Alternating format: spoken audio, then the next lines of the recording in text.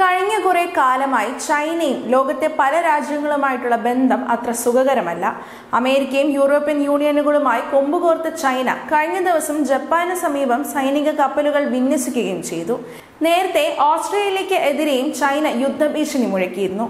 എന്നാൽ ഈ അടുത്ത കാലത്ത് ചൈനയുടെ എതിർപ്പ് മറികടന്ന് തായ്വാന് അമേരിക്ക മരുന്നും യുദ്ധ ഉപകരണങ്ങളും നൽകിയിരുന്നു. ഇത് ചൈനയെ ചൊടിപ്പിച്ച സംഭവമായിരുന്നു. തായ്വാൻ ഒരു രാജ്യമാണെങ്കിലും അത് തങ്ങളുടെ ഭാഗമാണ് എന്ന നിലപാടിലാണ് ചൈന എല്ലാ കാലവും സ്വീകരിച്ചു വരുന്നത്. എന്നാൽ തങ്ങൾ ഒരു സ്വതന്ത്ര രാഷ്ട്രമാണെന്നാണ് തായ്വാൻ പറയുന്നത്.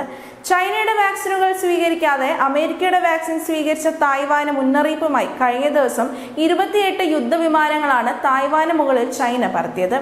ആയിരത്തി തൊള്ളായിരത്തി നാൽപ്പത്തി ഒൻപതിലെ ആഭ്യന്തര യുദ്ധത്തിന് ശേഷമാണ് തായ്വാൻ സ്വതന്ത്ര രാജ്യമാകുന്നത്.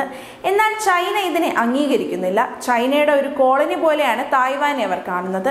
എന്നാൽ രണ്ടായിരത്തി പതിനാറിൽ സായി പ്രസിഡന്റായി ചുമതലയേൽക്കുകയും അമേരിക്കയുമായി കൂടുതൽ അടുക്കുകയും ചെയ്തു. നിലവിൽ തായ്വാനും ചൈനയും തമ്മിലുള്ള സംഘർഷം രൂക്ഷമാകുന്ന സാഹചര്യത്തിൽ ഒരു യുദ്ധത്തിന് തയ്യാറെടുക്കാനായി തായ്വാൻ സൈന്യത്തിനോട് തായ്വാൻ വിദേശകാര്യമന്ത്രി ജോസഫ് വു ആഹ്വാനം ചെയ്തു. ചൈനയുടെ അതിക്രമങ്ങൾ ഇനി അനുവദിക്കാൻ കഴിയില്ല എന്നും ആക്രമണം ഉണ്ടായാൽ അവസാന ദിവസം വരെ പോരാടുമെന്നും വു പറഞ്ഞു. ചൈനയെ അപേക്ഷിച്ച് സൈനിക ശക്തിയിൽ വളരെ പിന്നോക്കം നിൽക്കുന്ന തായ്വാനെ പോലെയുള്ള ഒരു ചെറിയ രാജ്യം ചൈനയ്ക്കെതിരെ ഒരു യുദ്ധത്തിന് തയ്യാറെടുക്കാൻ ആഹ്വാനം ചെയ്യുമ്പോൾ അതിനു പിന്നിൽ അമേരിക്ക ഉൾപ്പെടെയുള്ള വൻ ശക്തികളാണെന്ന് ലോകം കരുതുന്നു. ചൈനയെ വെല്ലുവിളിക്കാൻ തായ്വാന് കരുത്തു പകരുന്നതും ഈ വൻ ശക്തികളാണ്. ഏതായാലും ചൈന തായ്വാൻ സംഘർഷമുണ്ടായാൽ അത് ഒരുപക്ഷെ ലോക മഹായുദ്ധത്തിലേക്ക് മാറാനുള്ള സാധ്യതയും വളരെ കൂടുതലാണ്. News desk news India Malayalam.